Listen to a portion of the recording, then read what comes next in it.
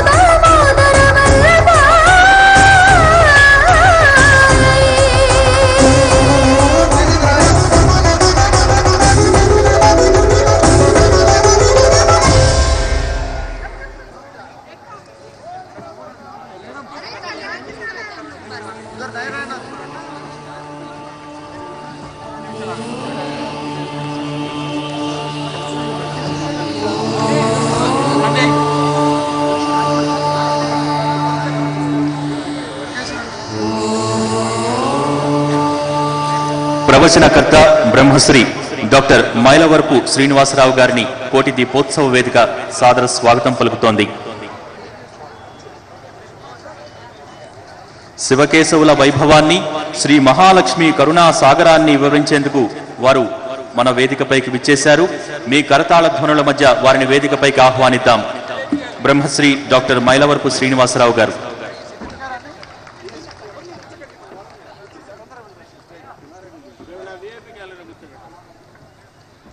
మైలవరపు వారిని ప్రవచనం ప్రారంభించవలసిందిగా కోరుతున్నాం.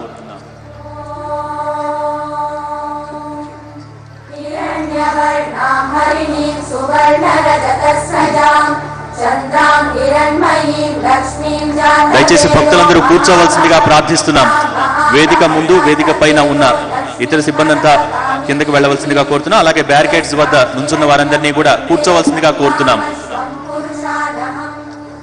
ప్రవచనకర్త చక్కటి ప్రవచనామృతాన్ని మనకు అందించేందుకు సిద్ధంగా ఉన్నారు. అందరూ కూర్చోవాలి. తమిళనాడు వేలూరు శ్రీపురం స్వర్ణ మహాలక్ష్మి వేయించేశారు వేదిక మీద ఆసీనులై ఉన్నారు. ఈరోజు నిజంగా మనం పూర్వజన్మ సుకృతం. పుణ్యం చేసుకున్నాం మనం అష్టైశ్వర్యాలు సిద్ధించే స్వర్ణ మహాలక్ష్మి అమ్మవారు శ్రీపురం నుంచి మన కోసం ఈ కైలాస ప్రాంగణానికి వేయించేశారు ఈరోజు అమ్మవారికి అష్టైశ్వర్యాలు సిద్ధించేటువంటి ప్రత్యేక పూజలను చేసుకోబోతున్నాం అందరూ కూర్చోవాలి. మనమందరం ఈ ప్రాంగణంలో స్థిరంగా కూర్చుంటేనే మన ఇంట లక్ష్మీదేవి స్థిరంగా ఉంటుంది. దయచేసి అందరూ కూర్చోండి. ప్రవచనం ప్రారంభించవలసిందిగా కోరుతున్నాం. దీపం జ్యోతి పరం బ్రహ్మ. దీపం दीपेन साध्यते सर्वं। सन्ध्यादीप नमोऽस्तु ते। शुद्धलक्ष्मीर्मोक्षलक्ष्मीः जयलक्ष्मी सरस्वती। श्रीलक्ष्मीर्वरलक्ष्मीश्च प्रसन्ना मम सर्वदा। భక్తి టీవీ వారు చేస్తున్నటువంటి కోటి దీపోత్సవానికి సకుటుంబంగా మిత్ర బాంధవంగా వచ్చినటువంటి అశేష ప్రజానీకానికి ఆ పరమేశ్వరి పరమేశ్వరి ఆశీర్వచనాలు ఉండాలని మనఃపూర్వకంగా ప్రార్థిస్తూ దీప విశిష్టతని మనవి చేస్తాను. ప్రతినిత్యము వెలిగించేటటువంటి దీపాల్లో మొట్టమొదటి దీపాన్ని గుర్తుంచుకోండి వెలిగించే ముందు. అధోనిష్ట్యా నిష్ఠ్యా జ్వాలమాలాకులం భాతి విశ్వశ్యాయతనం మహత్ మొదటి దీపం ఏ దీపము అంటే ఈ కంఠం కింద ఉండేటటువంటి గొయ్యిలా ఉండే ఆ చోట బొటన పేరుని పెట్టి చిటికెన వేలు ఎక్కడైతే ఉందో బాగా చేతిని సాగదీసి చిటికెన వేలు ఎక్కడ ఆగుతుందో అక్కడ చిన్న గుర్తు పెట్టుకోండి. నాభ్యాం ఉపరి. బొడ్డులో చిటికిన వేలు పెట్టుకుని పైకి చేతిని లాగగలిగినంత సాగి దూరం చేస్తే బొటన వేలు ఒక చోట వస్తే ఆ మధ్య భాగంలో ఉంటాడు పరంజ్యోతి స్వరూపుడు. దాన్నే అంతర్జ్యోతి అంటారు. కాబట్టి మొదటి దీపం వెలిగించేదాన్ని అంతర్జ్యోతి. అందుకని అందరూ అనండి అంతర్జ్యోతిషే నమ. ఒక దీపం వెలిగించాక దాని కింద రెండు దీపాలు వెలిగించాలి. ఏమిటా రెండు? చంద్ర నేత్రే. ఏ శ్రీ మహావిష్ణువుకి కుడికన్ను సూర్యుడో ఎడమ కన్ను ఆ ఇద్దరికీ సాక్షిగా సూర్య చంద్రుల్ని స్వయంగా వెలిగిస్తాను. రెండు దీపాలుగా ఒక దీపం కింద సూర్యుడికి చంద్రుడికి కలిపి పుష్పవంతులని పేరు కాబట్టి మనవి చేయిస్తున్నాను. అనండి. పుష్పవద్భ్యో నమ. ఆ రెండు దీపాల కింద మూడు దీపాలని వరుసగా పెట్టాలి. ఒకటి రెండు మూడు.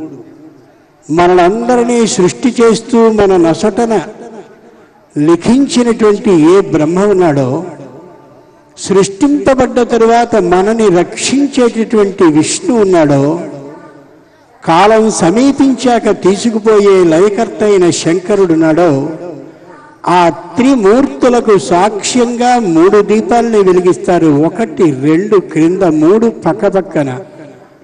అనండి త్రిమూర్తిభ్యో నమ. దాని కింద నాలుగు దీపాలు వరుసగా వస్తాయి. ఒకదాని పక్కన ఒకటి చొప్పున. ఏ దేవుణ్ణైనా ఆరాధించాలంటే అన్ని స్తోత్రాలు సూక్త రూపంలో ఏ ఋగ్వేదంలో ఉన్నాయో ఆ ఋగ్వేదం మొదటి దీపం. ఏ పెళ్ళి కానీ గృహప్రవేశం శంకుస్థాపన మొదలైనటువంటి కార్యక్రమాలు చేసుకోవాలో దానిలో ఏ మంత్రాలు ఉండాలో తెలియచేసే యజుర్వేదం రెండవ దీపం. అమోఘమైన సంగీతంతో పాటు వేదాన్ని ఏ విధంగా ఉచ్చరించాలో తెలియచేసేటటువంటిది మూడవది సామవేదం. విజ్ఞాన శాస్త్ర విశేషాలన్నిటినీ తెలియచేసేటటువంటి నాల్గవ వేదం అథర్వ వేదం. చతుర్వేదేభ్యో నమ అనండి. చతుర్వేదేభ్యో నమ నాలుగు దీపాల కింద ఒకదాని పక్కన ఒకటి చొప్పున ఐదు దీపాలని వెలిగిస్తాం. మొదటిది మనందరినీ కూడా స్వయంగా భరిస్తూ ఉన్నటువంటిది ఏ పృథివీ ఉందో కాలం తీరిన తర్వాత ఏ పృథివీ తనలో కలుపుకుంటోందో ఆ పృథివికి నమస్కరిస్తూ ఒక దీపం. మనందరం స్వయంగా జీవించడానికి ఆధారభూతమైనది తల్లి యొక్క గర్భంలో నుండి క్రిందికి రావడానికి ఉపయోగపడినది. జీవితం అంతా కూడా సుఖమయంగా చేస్తూ ఉండేది అయిన జలం. అదిగో ఆ జలాన్ని స్మరిస్తూ రెండవ దీపం. ఏ అమోఘమైన తేజోరూపం ఉందో ఆ తేజస్సుకి మూడవ దీపంగా పెట్టాం. సుఖమైనటువంటి వాయువు వేయిస్తూ ఉంటే దాని ద్వారా ఆనందాన్ని పొందుతున్నాం. వాయువుకి నాలుగవ దీపంగా సమర్పణ. ఆకాశం ఏదైతే ఉందో దాని ద్వారా అమోఘమైన జలాలని అన్నిటినీ పొందుతున్నాం కాబట్టి ఆకాశానికి ఒకటి. అంచేత ఈ ఐదు భూతాలు పంచభూతాలకి నమస్కరిస్తూ ఐదు దీపాలు. అనండి. పంచభూతేభ్యో నమ. తరువాత ఒకదాని పక్కన ఒకటి చొప్పున ఆరు దీపాలు వెలిగింపబడతాయి. శిక్షా వ్యాకరణ చాద నిరుక్తం జ్యోతిషం తథా. కల్పశ్చేతి షడంగాని వేదస్యాహుర్మనీషిణ. వేదానికి అంగాలు శిక్ష వ్యాకరణం ఛందస్సు నిరుక్తం జ్యోతిషం కల్పం అని. ఆ ఆరిటికి నమస్కరిస్తూ ఆరు దీపాలని దాని క్రింది వరుసలో వెలిగిస్తాం. అంచేత వేదాంగేభ్యో నమ. ఆ తరువాత ఒకదాని పక్కన ఒకటి చొప్పున ఏడు దీపాలని వెలిగిస్తాం. ఎవరు? కశ్యపోత్రి భరద్వాజ విశ్వామిత్రోధ గౌతమ వశిష్ఠో జమదగ్నిశ్చ సప్తతే ఋషయ ప్రత్యేకంగా కనిపించే ప్రతి వస్తువు లోపల ఏముందో చెప్పగలిగిన శక్తిమంతుడైన కశ్యపునికి ఒక దీపం. పన్నెండు సంవత్సరాల పాటు భూమికి వర్షం లేకపోతే తన భార్య అయిన అనసూయాదేవితో సహా బహిరంగ ప్రదేశంలో తపస్సు చేసి అమోఘమైన వృష్టిని కురిపించిన ఆ అత్రి మహర్షికి ఒక నమస్కారం. ప్రాణ ఆయామ విద్యని నేర్పి లోకంలో వ్యక్తుల యొక్క ఆయుష్యాన్ని పెంచినటువంటి భరద్వాజ మహర్షికి ఒక దీపం. ఏ గాయత్రి మంత్రాన్ని దర్శించి అనుభవించి దాని ఫలితం అంత గొప్పదనే యథార్థాన్ని దర్శించిన ద్రష్ట అయిన విశ్వామిత్రునికి ఒక నమస్కారం ఒక దీపం.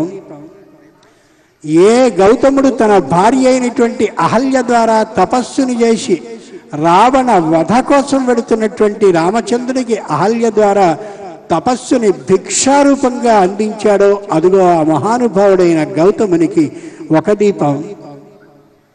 ఏ వశిష్ఠుడు కులగురువుగా ఉండి రాజ్యాన్ని కూడా దశరథ మరణ అనంతరం స్వీకరించి అయోధ్యని శుభకరంగా చేశాడో రామునికి వశిష్ఠునికి ఉన్న వశిష్ఠ గీతని ప్రబోధించాడో యోగ వాసిష్ఠాన్ని అందించాడో ఆ వశిష్ఠునికి ఒక దీపం. క్షత్రియ అహంకారాన్ని పూర్తిగా తొలగించగలిగినటువంటి శక్తిమంతుడైన పుత్రుణ్ణి పరశురాముణ్ణి కన్న జమదగ్ని మహర్షికి ఒక దీపం. ఈ ఏడుగురికి సప్త మహర్షులైన వాళ్ళకి నమస్కరిస్తూ ఏడు దీపాలని వెలిగిస్తాం. అనండి సప్త మహర్షిభ్యో నమ.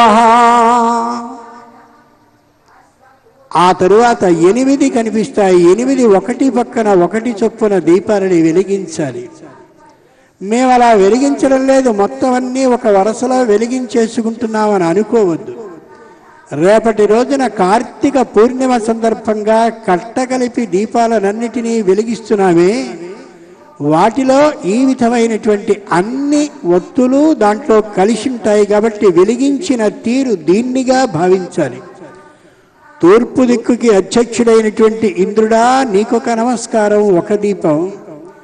తూర్పు దక్షిణాలకి నడుముగా ఉండే ఆగ్నేయ దిక్కుకి అధిపతి అయిన అగ్నిదేవుడా ఒక దీపం. దక్షిణానికి అధిపతి అయిన యమదేవుడా నీకొక దీపం. దక్షిణ పశ్చిమాలకి నడుమ ఉండే నైరుతి దిక్కుకి అధిపతి అయిన నిరుతిదేవ నీకొక దీపం. పశ్చిమ దిక్కుకి అధిపతి అయిన వరుణదేవుడా నీకొక దీపం. పశ్చిమ ఉత్తరాలకి నడుమ ఉండే వాయవ్య దిక్కుకి అధిపతి అయిన వాయుదేవుడా నీకొక దీపం. ఉత్తర దిక్కుకి అధిపతి అయిన కుబేరుడా నీ పేరిట ఒక దీపం. ఉత్తరానికి తూర్పుకి నడుమగా ఉండే ఈశాన్య దిక్కుకి అధిపతి అయిన ఈశానుడా నీకొక దీపమయ్యా అని అష్ట దిక్కు పాలకులకి మనని రక్షిస్తూ ఉన్నందుకు ఎనిమిది దీపాలని పెడతాం. అనండి అష్టదిక్పాలకేభ్యో నమ. తర్వాత ఒకదాని పక్కన ఒక దీపం చొప్పున తొమ్మండుగురికి ఏర్పాటు చేస్తాం. ఇన శశి కుజరాహు జీవమందజ్ఞకేతు భృగుజ ఇతి నవానాం కృతికాది క్రమేణ. ఏ ఆరోగ్యాన్ని ఇచ్చేటటువంటి వాడు జీవితంలో సుఖశాంతులు ఇచ్చేవాడు ఆయన సూర్యుడు నాడో ఆ రవిగ్రహానికి ఒక దీపం. మనశ్శాంతిని కలిగించేటటువంటి శశి చంద్రుడికి ఒక దీపం జ్యోతిషపరంగా మనందరికీ మానసికమైనటువంటి తాపాన్ని కలిగించి తొలగించే విధానాన్ని నేర్పేటటువంటి కుజగ్రహానికి ఒక దీపం. కంటికి అలాగే శరీరానికి బాధని కలిగించి తనని స్థుతిస్తే ఆ కష్టాన్ని తొలగించే రాహుగ్రహానికి ఒక దీపం. బుద్ధి బలాన్ని పెంచేటటువంటి గురుగ్రహానికి ఒక దీపం.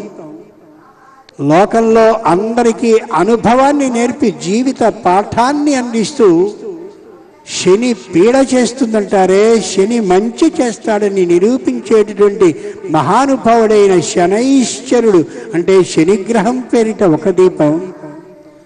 బుధుడున్నాడే వ్యాపారాన్ని అభివృద్ధి చేసేటటువంటి వాడు బుద్ధిలో వ్యాపారపు ఆలోచన కలిగించేవాడు అయిన బుధగ్రహానికి ఒక దీపం.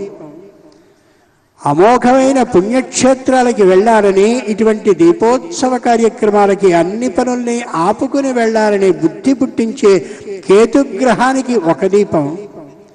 తాను రాక్షసుడు కాకపోయినప్పటికీ కూడా రాక్షసులకి గురువుగా ఉంటూ ఉండేటటువంటి శుక్ర ఆచార్యుని పేరిట శుక్రగ్రహం పేరిట ఒక దీపం నవగ్రహాలకి తొమ్మిది దీపాలని పెడతాం ఆ కింద. తొమ్మిది దీపాల క్రింద మళ్ళీ ఒకదాని పక్కన ఒకటి చొప్పున పది దీపాలని పెడతాం. ఓ శ్రీ మహావిష్ణువు సోమకుడనే పేరు కలిగిన రాక్షసుడు వేదాలని అపహరిస్తే ఏ మత్స్యావతారాన్ని ఎత్తి వాడిని వధించావో ఆ మత్స్యావతార మూర్తివైన నీకొక నమస్కారం. దేవదానవులు పాల సముద్రాన్ని చిలికేటటువంటి సందర్భంలో మందరం భూమిలోనికి దిగబడితే కూర్మ రూపంతో ఉద్ధరించినటువంటి కూర్మమూర్తివైన నీకొక దీపాన్ని పెడుతున్నాను. ఏ హిరణ్యాక్షుడు చాపచుట్టగా భూమిని సముద్రంలో పడవేశాడో ఆ సందర్భంలో వాణ్ణి వధించడం కోసం వరాహ రూపాన్ని ఎత్తి నీ కోరతో భూమిని ఉద్ధరించావో ఆ వరాహ అవతారమూర్తివైనటువంటి నీకొక నమస్కారం. వామన రూపాన్ని ఎత్తి బలిచక్రవర్తికి శిరసు మీద తలని పెట్టి మోక్షాన్ని అతడికి అనుగ్రహించి తలాతలలోకాన్ని ప్రసాదించావే అటువంటి వామనమూర్తి రూపానికి ఒక దీపం. ఏ నారసింహ రూపాన్ని ఎత్తి ప్రహ్లాదుణ్ణి నిరంతరం రక్షిస్తూ హిరణ్యకశిపుడికి మోక్షాన్ని అందించావో ఆ రూపానికి ఒక దీపం. పరశురామ అవతారాన్ని ఎత్తి క్షత్రియ అహంకారాన్ని నిర్మూలించిన నీకు ఆ మూర్తికి ఒక దీపం. ధర్మాన్ని లోకంలో ప్రతిష్ఠించినటువంటి రామచంద్రమూర్తి అవతారమూర్తికి ఒక నమస్కారం. బలరామునిగా నాగలిని ఏర్పాటు చేసి లోకంలో వ్యవసాయ విధానాన్ని మా అందరికీ తెలియచేసిన నీ బలరామమూర్తికి ఒక దీపం. అలాగే పంటకి సంకేతం నాగలిని ధరించిన బలరాముల్లా పాడికి సంకేతమైన గోవుని నిరంతరం నీ వెంట తిప్పుకుంటూ అలా మా అందరికీ అనుగ్రహాన్ని కలిగించిన కృష్ణమూర్తి రూపమైన నీకొక దీపం. చిట్ట చివరిది మేమందరం దోషాలు చేస్తూ ఉంటే దోషాలు చేసిన మా అందరినీ ముగింపు చేయడం కోసం యుగ అంత్యాన్ని ప్రకటించే కల్కి రూపమూర్తివైన ఒక దీపం నీకు అని దశ అవతారాలకి సాక్షిగా పది దీపాలని ఒకదాని పక్కన ఒకటి వెలిగిస్తాం. అవతారమూర్తిభ్యో నమ. ఆ తరువాత ఏకాదశ రుద్రులు వస్తారు వరుసగా పదకొండు దీపాలు పెట్టాలి. అనండి. ఏకాదశ. రుద్రేభ్యో నమ. ఆ తరువాత ద్వాదశ ఆదిత్యులు పన్నెండు మంది సూర్యులు అలా ఉంటారు. ఒక సూర్యుడు మేఘాలని సృష్టిస్తే ఒక సూర్యుడు ఆరోగ్యాన్ని కలిగిస్తే ఒక సూర్యుడు తీవ్ర దుఃఖంలో ఉన్నటువంటి మనకి మరపుని కలిగిస్తూ ఉంటే ఒక సూర్యుడు ఆకాశంలో ప్రయాణిస్తూ పగటిని ఏర్పాటు చేస్తుంటే ఒక సూర్యుడు స్త్రీల యొక్క గర్భాలలో చేరి స్వయంగా శిశువుని పెంచేటటువంటి ఏర్పాటుని జాగ్రత్తగా చేస్తూ తగినంత వేడిమి ఉండేలా చేస్తుంటే ఇలా పన్నెండు మంది సూర్యులు పన్నెండు విధాలైన ప్రయోజనాలని మనకి కలిగిస్తున్నారు కాబట్టి పన్నెండు మంది సూర్యులని వరుసగా స్మరించుకుంటూ ఒక్కొక్క దీపాన్ని వరుసగా ఒకటి దాని పక్కన ఒకటి పెడతామే. అంచేత ఆదిత్యులకి నమస్కారం చేయాలి అనండి. ద్వాదశ ఆదిత్యోభ్యో నమ. ఆదిత్యేభ్య ఆదిత్యులైన పన్నెండు మందికి నమస్కారం. పదమూడు భువనాలను ఏలుతూ ఉంటే మనం జీవించగలుగుతున్నాం ఒక భువనంలో. కాబట్టి త్రయోదశ భువన అధిపతులకి నమస్కారం అని తెలియజేస్తూ పదమూడు దీపాలని ఒకదాని పక్కన ఒకటి పెట్టాలి. త్రయోదశ భువనేభ్యో నమ. ఆ తర్వాత పద్నాలుగు దీపాలని ఒకదాని పక్కన ఒకటి ఏర్పాటు చేస్తాం. లోకంలో విద్యలు విద్య అంటే మంత్రము అని అర్థం. అమోఘమైన ముఖ్యమైన మంత్రాలు లోకంలో ఫలించేవి పద్నాలుగు మాత్రమే కాబట్టి పద్నాలుగు విద్యలకి నమస్కారం. చతుర్దశ విద్యాభ్యో నమ. ఆ తర్వాత పదిహేను దీపాలు పెడతాం ఒకదాని పక్కన ఒకటి. ప్రతిపన్ముఖ్య రాకాంత తిథి మండల పూజిత. పాడ్యమి నుండి పూర్ణిమ వరకు ఉండేటటువంటి పదిహేను తిథులకి ఒక్కొక్క తిథికి ఒక్కొక్క దీపం చొప్పున ఏర్పాటు చేస్తాం పదిహేను తిథులని. కాబట్టి పంచదశ అనాలి. తిథిభ్యో నమ. ఇక్కడి నుంచి ఇక మనకి సంబంధించింది వస్తుంది పదిహేను దీపాలు అయ్యాక. శ్రీరాఘవం దశరథ ఆత్మజమప్రమేయం సీతాపతిం రఘుకులాన్వయరత్నదీపం రామచంద్రుణ్ణి కుల అన్వయ రత్నదీపం అని అంటోంది.